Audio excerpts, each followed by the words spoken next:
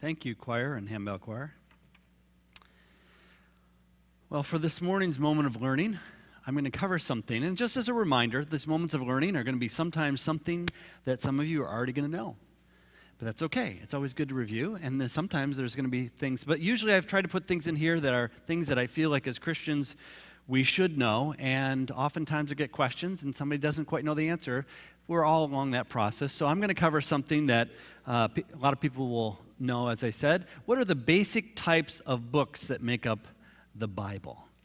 You know, the Bible is a wonderful collection of 66, it's almost like a, a library in a certain sense. It's a collection of 66 books written by many different authors over period of uh, in excess of 1500 years and all collected in one place but they have lots of different uh, styles and so forth and i wanted to just kind of remind ourselves a little bit of this and i'd had somebody ask me this question a few weeks ago so i thought i would cover it now there's several general categories that the books of the Bible can be given. I put up here kind of some of the standard uh, sorts. We have history, wisdom, law, poetry, prophecy, gospels, epistles, which are also letters, and apocalyptic.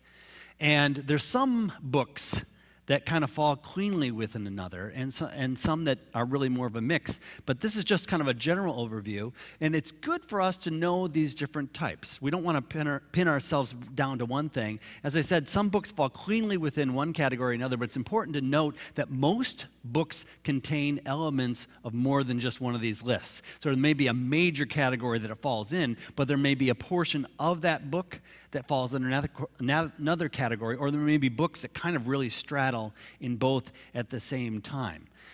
So, uh, going back to um, an example of some of these different ones, history books, you could think there's certainly a lot of uh, parts in the Old Testament that have a lot of history. If you start going through Kings or Chronicles and so forth, a lot of history in there. But they'll also have other elements, perhaps like songs or poetry in there uh, as well. Uh, one of the most uh, historical books of the New Testament is Acts, which has a lot of, uh, fulfillment of prophecy from the Old Testament, but it kind of gives a history of the church as it starts. Um, Gospels are, of course, talking about the life of Christ specifically. Now, everything all together points to Christ, points to God altogether, but they do it in different sorts of fashions. Poetry are things you think of like uh, uh, lamentations or uh, parts of the Psalms, and there's lots of examples.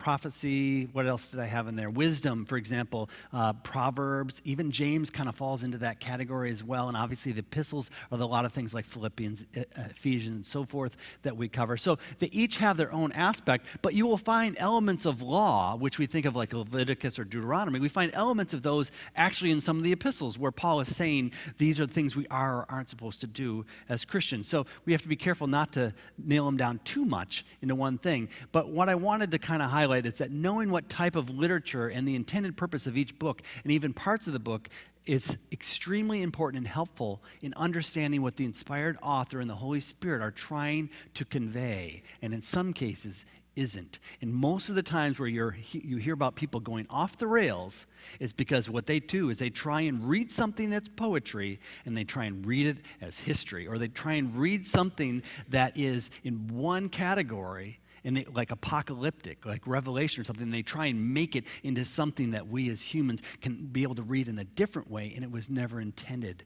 for that purpose. You see in Genesis, parts of it are very, very historical. And there's other parts that are very poetical. And there's other parts that are, are wisdom. There's all those bound together. So it's just important for us to know that there's different aspects of these different books. And as we hold the Bible as a Word of God, we must be extremely careful that we don't overinterpret or misinterpret the meaning.